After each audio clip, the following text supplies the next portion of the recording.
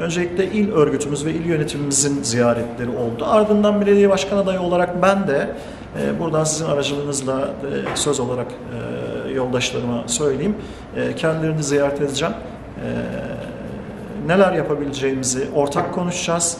Ortak bir akıl haline, kolektif bir çalışma haline gelmesi gerekiyor. Bunlar sadece Türkiye İşçi Partilik veya Gençler Baykulluk meseleler değil. Hep birlikte ortak akılla bunları e, çözmek için çaba sarf ediyoruz. Aslında sahadayız.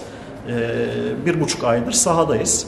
Bir taraftan işte altyapısal sorunlarla ilgilenirken bir taraftan da e, kamuoyu çalışmalarını yapıyoruz. Yine sosyal medya propaganda ekiplerimiz bugün itibariyle daha aktif bir propaganda çalışması yürütecekler. Bununla ilgili çalışmalarımız vardı. O nedenle e, biraz gecikti ama o çalışmalar tamamlandı. Reelsleri çekildi, fotoğrafları çekildi, e, animasyonları tamamlandı. Bugünden itibaren Gencer Baykul'u daha yakından tanıyacağınızı söyleyelim size.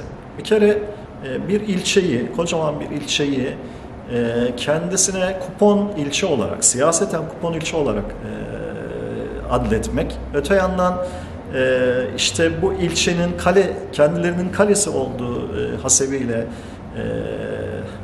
söylenti yaymak yakışık almaz ve ilçe seçmeninin iradesine büyük bir saygısızlıktır. Bir kere bunun altını tekrar çiziyor. Büyük bir saygısızlıktır. Ben ee, başta Yenişehir ilçemizde yaşayan yurttaşlarımıza şu mesajı vermek istiyorum.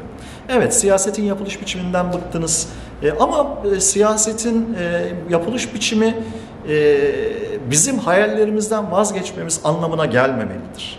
Biz bu ülkenin laik, demokratik, cumhuriyetin kadim değerlerini bir eşitlik ve özgürlüğe taşımak istiyoruz bu mücadeleye destek vermeleri, kendilerini seçimden seçime hatırlamalarına bir itiraz bildirmeleri, yine e, ne yazık ki bu oynanan e, maskeli baloya bir dur demeleri için onları mücadeleye çağırıyorum. Seçeneksiz değildirler, umutsuz olmasınlar. Türkiye İşçi Partisi'nin olduğu yerde umut vardır. Hep birlikte başarabiliriz ve başaracağımıza da kesinlikle inanıyoruz.